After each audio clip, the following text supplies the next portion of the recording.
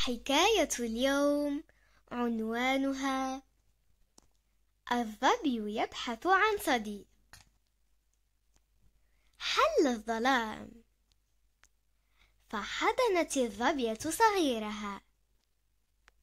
وحكت له قصة الأرنب الأبيض الذي أنقذه صديقه من بندقية قناص.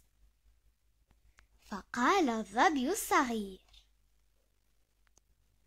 أريد أن يصبح لي صديق يساعدني وأساعده يا أمي. قالت الظبية حسنا يا صغيري ابحث لك عن صديق. خرج الظبي الصغير ظهرا. وظل يمشي. حتى رأى سنجابا رشيقا ذا ذيل طويل كثيف الشعر. فحياه وطلب منه أن يدله على منبع ماء قريب. لكن السنجاب نظر إليه غير مبال وقال ما كان عليك أن تفارق أمك. عد إلى بيتك. قال الظبي في نفسه. هم هذا سنجاب متعجرف. لا يصلح أن يكون صديقا. اشتد العطش بالظبي. فواصل سيره. إلى أن وصل إلى نهر يجري فيه ماء عذب. ظهر أمامه قطيع من الوعول الصغيرة. تلعب وتقفز. قال الظبي للوعول الصغيرة. هل ألعب معكم؟ رحبت الوعول الصغيرة بالظبي.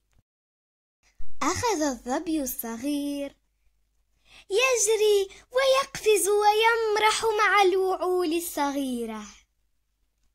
وفجأة صاح أحد الوعول. قناص قادم على القنص عازم. لا تلعبوا هيا اهربوا. تفرقت الوعول هاربة. عندئذ تعثر الظبي الصغير. وبدأ يتمره ويتوجع. فخوفه من القناص. جعله يفقد توازنه ويسقط على الأرض. لم تكترث له الوعول.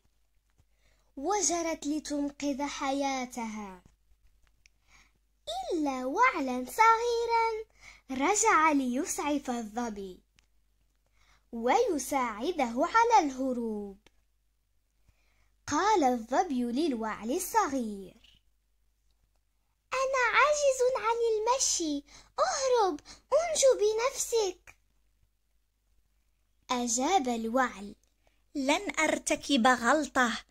وأتركك في هذه الورطة.